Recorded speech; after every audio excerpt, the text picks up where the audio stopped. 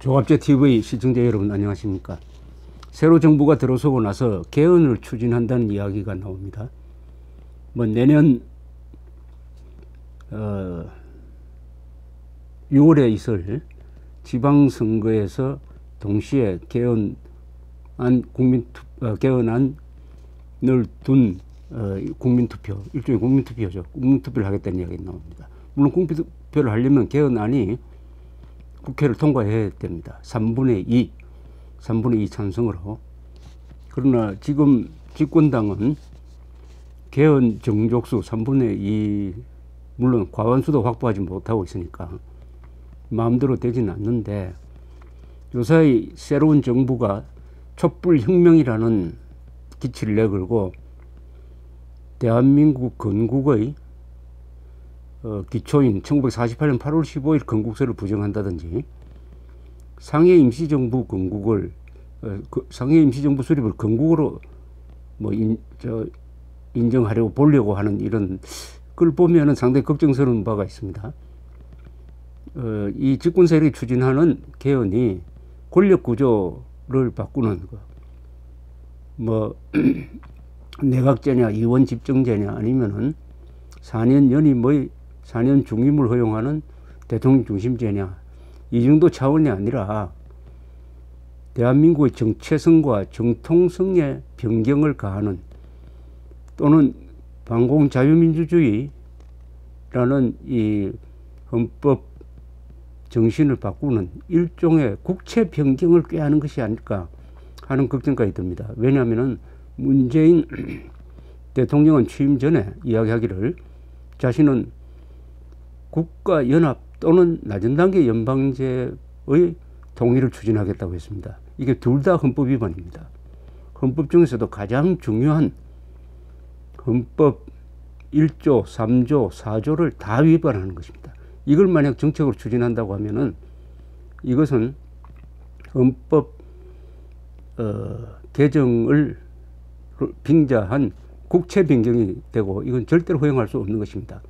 이런 시도가 일어나지 않도록 하기 위해서라도 헌법을 어느 정도까지 손댈 수 있느냐에 대한 상식적인 상식적인 해설이 필요하다고 해서 제가 오늘 헌법 해설을 좀 하려고 합니다. 1948년 7월 17일에 국회 의사당에서 대한민국 헌법을 공포하는 연설을 한 사람이 이승만 대통령, 이승만 당시 국회의장이었습니다. 이런 문장이 있습니다. 일반 남녀가 각각 이 헌법에 대한 자기 직책을 다함으로써 자기도 법을 위반하지 않으려니와 남들도 법을 위반하는 사람이 없도록 노력할진데 우리 전 민족뿐만 아니라 우리 후세 자손이 같은 자유 복리를 누릴 것이니 그러니까 헌법을 국민들이 서로 서로 지키도록 노력하자. 이런 촉구를 하고 있습니다. 이 헌법, 우리 헌법의 탄생이라는 책을 쓴 조선대학교의 이영록 교수는 이 헌법 제정의 의미를 이렇게 설명을 했습니다. 이 헌법 제정은 입헌주의로 가는 길을 여는 것인데 그때는 처음 해보는 말하자면 민주주의였다. 그러나 헌법이 있었으므로 헌법이 있었으므로 이 민주주의를 하는 과정에서 시행착오가 있더라도 항상 그 헌법을 기준으로 해서 다시 고치고 또는 복원하고 하는 이런 기준이 되었다.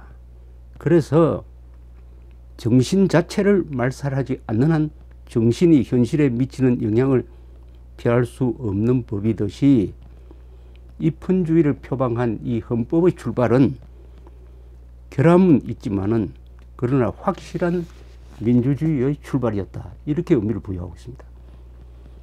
그 헌법대로 하기가 어렵습니다. 헌법대로 한다면 세계 모든 나라는 헌법 한 장으로 민주주의가 가능한 겁니다.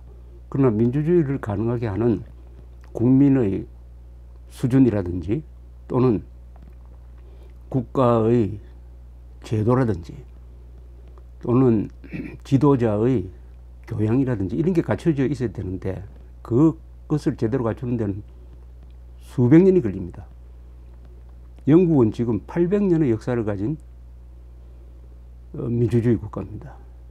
그런데 우리가 어떻게 아무런 경험 없이 처음부터 민주주의를 할 수 있었겠습니까? 어긋날 때마다 지도자가 욕심을 낸다든지 국민들이 실수를 한다든지 또는 유교처럼 전쟁이 일어난다든지 등등 여러 가지 곡절이 있었지만은 그러나 문제 해결을 할 때 항상 헌법을 중심으로 했다. 그러니까 헌법에서 크게 이탈하지 않더라. 그러다가 보니까 서서히 헌법의 힘이 우리 민주주의를 뒷받침하는 것으로 제도화되었다. 이런 설명이죠. 이 헌법 개정 논의를 할 때 권력 구조 개정과 더불어 꼭 나오는 게 하나 있어요. 통일에 대비해서 헌법 개정해야 된다. 이거는 식자 우환입니다. 통일을 대비한 헌법 개정 필요 없습니다. 왜냐? 우리 헌법을 가지고 충분히 북한 정권을 흡수할 수가 있습니다. 서독 동독을 흡수해서 통일할 때 헌법 개정도 제정도 하지 않았습니다. 서독이 가지고 있던 헌법, 기본법이라는 헌법 체제 안으로 동독을 흡수해 버렸던 것입니다.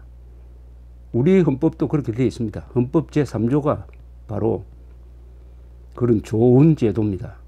헌법 제3조에 의해서 북한 정권을 흡수해 가지고 자유통일할 수 있는 것입니다. 헌법 제3조는 뭐냐? 대한민국 영토는 한반도와 그 부속 도서로 한다.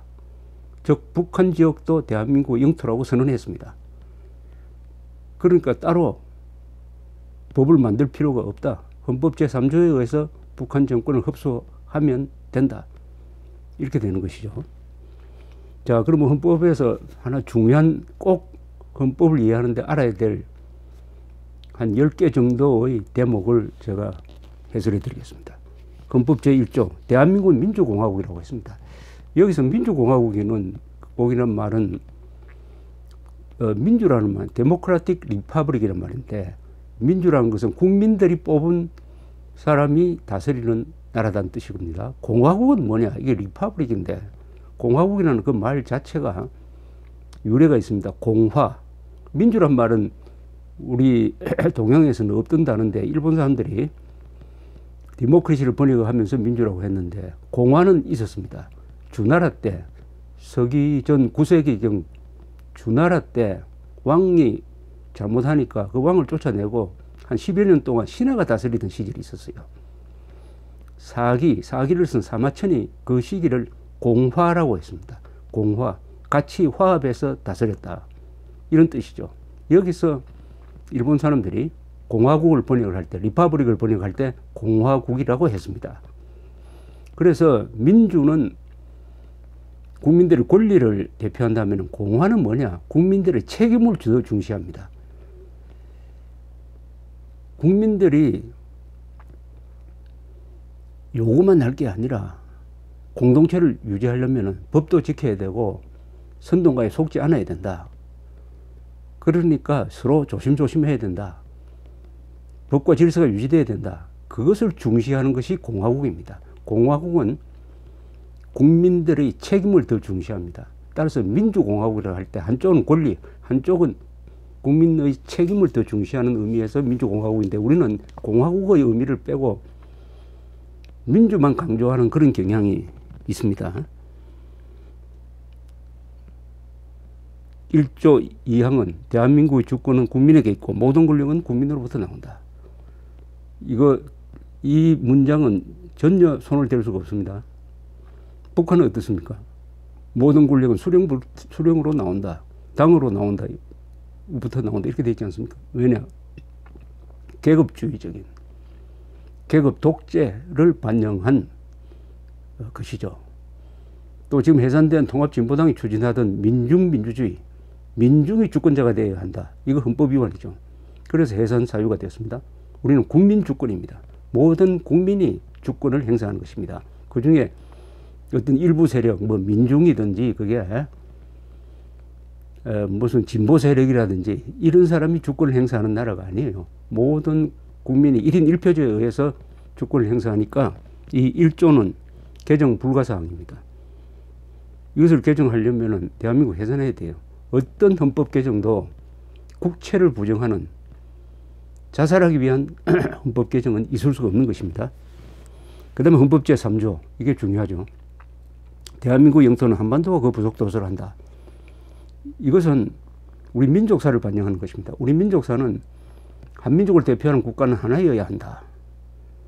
신라가 삼국통일한 이후에 그런 전통을 이어져 왔으니까 한반도에서는 하나의 정통 국가밖에 있을 수 없고 그것은 대한민국이다. 유엔이 대한민국을 유일한 합법 국가로 인정을 했다. 그 바탕에서 북한을 우리의 국토인 영토인 북한 지역을 강점하고 있는 불법 단체 반국가 단체로 규정한 것입니다. 이 헌법 개정 이야기가 나오면은 이것을 현실적으로 바꿔야 된다는 이야기를 하는 사람들이 많습니다. 우리가 실효적으로 북한 지역을 지배하지 않으니까 그러나 이것은 큰일 날 일입니다. 이것을 많이 바꿔서 대한민국 영토는 휴전선 이남과 그 부속 도서로 한다 하면은 큰일 납니다. 어떤 큰일이 나느냐. 통일을 포기하는 것이 됩니다. 북한 지역을 우리의 영토라고 주장을 하니까 북한을 흡수 통일하는 통일 정책이 헌법에 기초하게 됩니다. 동시에 우리가 통일하려고 할 때 중국이 개입하게 됩니다. 왜 당신 헌법에 북한이 또 다른 국가, 외국으로 규정되어 있는데 왜 북한을 침략하려고 하느냐. 이렇게 억지를 부릴 근거를 우리가 마련하게 되는 것이죠. 셋째, 북한 또한 대한민국을 국가로 인정하지는 않습니다. 권력, 권력 실체로만 인정합니다. 그러니까 우리가 북한에, 북한을 우리 영토로 보지 않는다면은 한반도에서는 북한 정권만 한반도 전체에 대한 권리를 주장하는 집단이 되니까 우리보다 한 수 위에 놓이게 되는 것이죠. 그래서 이것은 절대로 대한민국 영토는 한반도와 그 부속도로서를 한다는 이 헌법 제 3조에 근거해서 국가보안법이 존재하는 것입니다. 이 제3조야말로 대한민국 헌법의 칼입니다. 이것을 개정하는 것은 어, 대한민국의 영토 반을 반을 북한 정권한테 갖다 바치는 반역 행위가 될 것입니다. 헌법 제4조는 통일조항입니다. 대한민국은 통일을 지향하며 자유민주적 기본 질서에 입각한 평화적 통일 정책을 수립하고 이를 추진한다. 자유민주적 기본 질서에 입각한 통일이라는 것은 남북한이 통일된 그 정치 체제가 자유민주주의여야 한다는 뜻입니다. 그러나 그것을 추진하는데 평화적 방법으로 해야 된다. 즉 전쟁을 통해서 하지 말자 이런 뜻입니다. 이것은 정부의 의무사항입니다. 즉 평화적 방법의 자유통일을 지향해야 할 의무가 헌법 제4조에 딱 적혀 있습니다. 그런데 문재인 대통령은 흡수 통일을 안 하겠다. 인위적 통일 정책을 추진하지 않겠다 하는 것은 명백하게 헌법 4조 위반입니다. 통일을 포기하겠다는 이야기입니다. 모든 통일은 인위적으로 되는 겁니다. 자연재해에 의해서 통일이 되는 수는 없습니다. 저절로 되는 수가 없어요. 자, 헌법 제5조도 중요합니다. 대한민국은 국제 평화의 유지에 노력하고 침략적 전쟁을 부인한다. 2. 국군은 국가의 안전 보장과 국토 방위의 신성한 의무를 수행함을 사명으로 하며 그 정치적 중립성은 준수된다. 여기에 국군을 국토 방위뿐만 아니라 국가 안전 보장의 신성한 의무를 수행하는 것을 사명으로 하는 집단이라고 규정을 했습니다. 국가의 안전 보장은 내부적으로부터 국가를 지키는 것도 포함합니다. 이것이 국군의 임무입니다. 국군은 북한의 공격으로부터 조국을 방어할 뿐만 아니라 북한과 연계된 반역 세력으로부터 국가를 보유해야 할 헌법적 의무가 있는 것입니다. 그래서 김관진 장관 때 이 종북 세력에 대응하기 위한 어, 적극적인 정군 교육을 한 적이 있습니다. 대한민국 바로 알리기. 어, 그 다음에 자유민주주의 바로 알리기, 종북 바로 알리기, 이런 내용으로서 바로 이것이 헌법 제5조에 근거한 것입니다. 정치적 중립성은 준수된다고 했으니까 어떤 정당 편을 들어서는 안 된다는 뜻이고 동시에 국가의 안전보장을 위해서는 정치를 알아야 합니다. 정치에 개입해서는 안 되지만은 우리 국군은 정치를 알아야 한다는 뜻입니다. 제8조 정당의 목적이나 활동이 민주적 기본 질서에 위배될 때는 정부는 헌법재판소에 그 해산을 제소할 수 있고 정당은 헌법재판소 심판에 의하여 해산된다. 이것은 2014년 12월에 북한식 사회주의를 추구하는 통합진보당이 해산되도록 한 규정입니다. 제8조. 이게 최초로 한분 사용된 거죠. 이것 또한 개정 불가 사항입니다. 이게 없으면은 모든 정당은 정당으로서의 특권이라고 하면서 반역 면허장을 면허증을 받은 것처럼 행동할 가능성이 있기 때문입니다. 자, 제일 중요한 조항이 이 헌법 제 10조입니다. 이것은 대한민국 헌법 심장이라고 불리고 우리 헌법적 가치의 핵심을 여기 녹여 놓았습니다. 아름다운 문장입니다. 모든 국민은 인간으로서의 존엄과 가치를 가지며 행복을 추구할 권리를 가진다. 국가는 개인이 가지는 불가침의 기본적 인권을 확인하고 이를 보정할, 보장할 의무를 진다. 얼마나 근사합니까? 모든 국민은 인간으로서의 존엄과 가치를 가진다. 행복을 추구할 권리까지 가진다. 행복을 추구한, 행, 대한민국 국민으로 태어나면은 행복해지는 것이 권리이기도 하고 의무이기도 하다는 뜻 아닙니까? 동시에 국가는 개인이 가지는 이게 중요합니다. 개인이 가지는 집단이 가지는이 아닙니다. 개인이 가지는 기본적 인권을 확인하고 이를 보장해야 한다. 대한민국이란 나라는 개인 한 사람 한 사람을 국가만큼 소중하게 여기고 기본적 인권, 언론의 자유, 정치의 자유, 사회 재산권의 자유를 보장해야 한다는 뜻입니다. 이것과 북한의 헌법을 비교하면 참 천당과 지옥이죠. 북한은 북한 체제의 졸린 목적을 김일성, 김정일, 김정은, 수령의 결사 옹위에 두고 있습니다. 체제 수호도 아니에요. 그게 비교하면은 모든 국민뿐만 아니라 하나 한 사람 한 사람의 개인의 인권을 지고 지선의 가치로 보호 육성하겠다는 이 헌법 제10조야말로 대한민국 헌법의 자랑이고 우리 국가가 나아가야 할 지표인 것입니다. 이것 또한 헌법 개정 불가 사항입니다.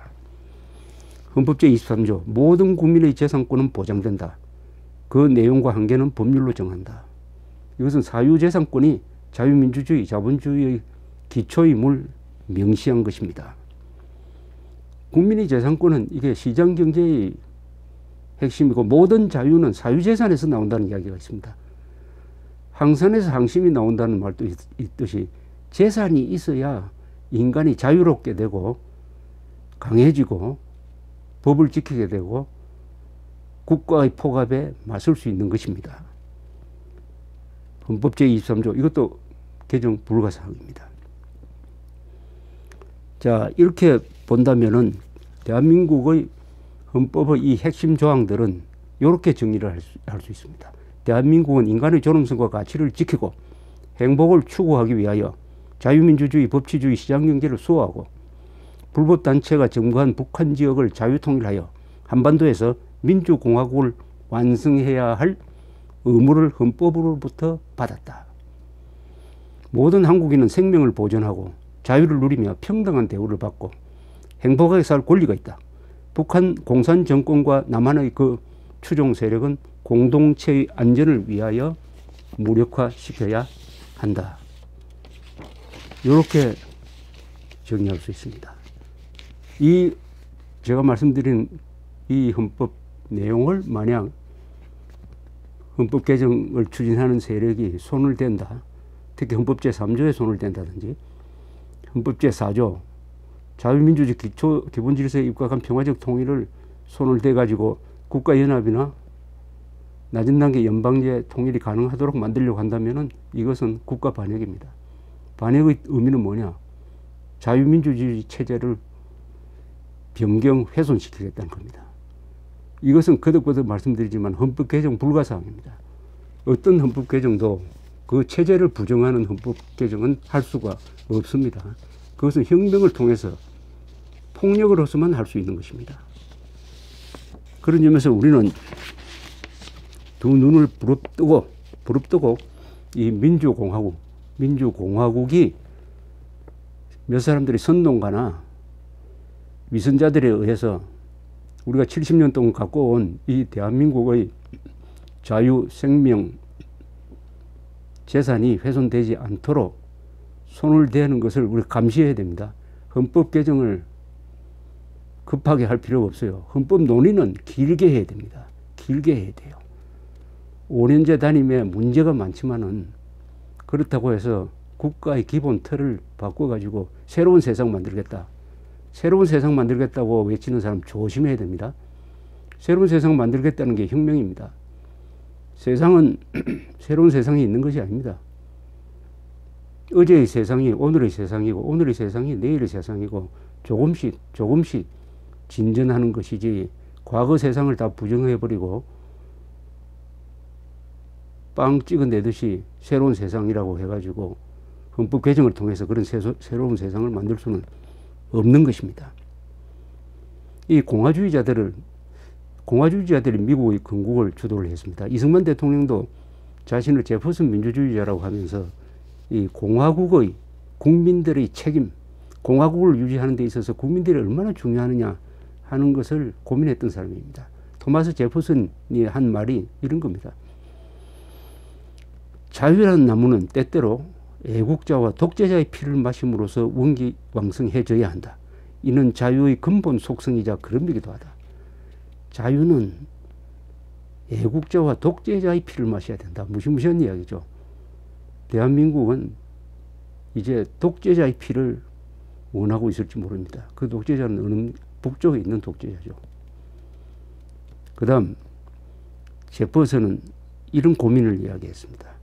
나는 한 사회의 궁극적 권력을 안전하게 맡길 수 있는 곳은 국민들 뿐이라는 것을 알고 있다. 그러나 그 국민들이 충분히 개명하지 못해 신중하게 자신들을 통제할 수 없다고 생각할 때는 어떻게 할 것인가? 권력을 그들로부터 뺏을 것인가? 아니면 교육을 통하여 그들에게 신중함을 가르쳐 줄 것인가? 이게 고민인데 토마스 제프슨은 후자. 그래도 참고 국민들을 가르치는 쪽이 맞다. 이런 이야기를 했습니다. 이승만 대통령이 1948년 8월 15일 연설에서 건국 연설에서 한 첫 문장이 바로 그겁니다. 뭐냐? 여러분은 민주주의를 믿어야 할 것입니다. 민주주의가 다소 더디더라도 종국에 가서는 선이 악을 이긴다는 것을 믿어야 합니다. 그러니까 민주주의가 시행착오를 겪지만은 민주주의는 그래도 문제를 스스로 해결할 수 있는 힘이 있다.